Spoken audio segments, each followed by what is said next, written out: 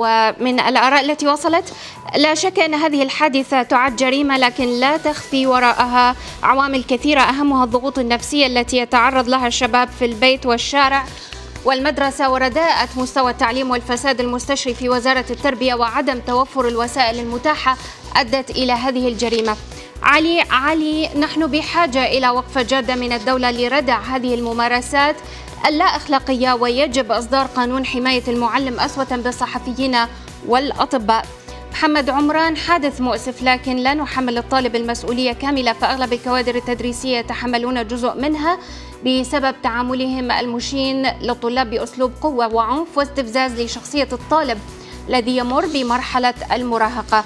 توفيق الشمري السبب في ذلك أن القانون لا يحمي الكوادر التدريسية ولا يوجد أي تعاون من قبل أولياء الأمور مع الكوادر التدريسية بل الطالب يجد تشجيع من قبل الأهل على هذه الظواهر السلبية. أما ما ورد على صفحة الحرة عراق في تويتر أحمد المدحتي هي جزء من ظاهرة الاعتداء على الإنسان وانتهاك حرمته بصورة عامة في العراق وهو نتيجة طبيعية لمجتمع منهار.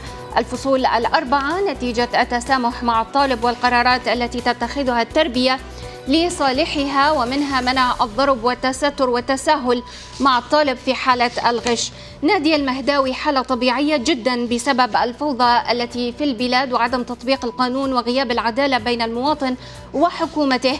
كل همها سرقة خيرات البلاد. أما حسام الأسلوب الفج وتعامل الخشن القبيح من كثير من المدرسين والمعلمين للطلاب هو الذي يجعل الطالب يكره الدراسة والأساتذة.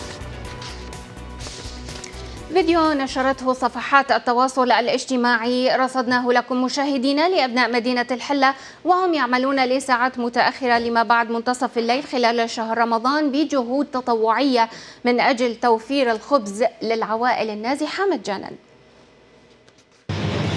هذا المخبز آه، تم نصبه من قبل جمعية الهلال الأحمر العراقي. آه، فرع بابل بالتعاون مع المركز العام يعمل هذا المخبز على إغاثة وتقديم المساعدات الإنسانية لمادة الخبز للنازحين وبصورة مستمرة. في شهر رمضان ومخبز. نحن اليوم في شهر رمضان الكريم. وهذا عمل المتطوعين وكوادر جمعية الهلال الأحمر العراقي فرع بابل آه، في ساعات متأخرة من الليل لغرض إنجاز الوجبات المتعلقة آه، في إغاثة النازحين وتوفير مادة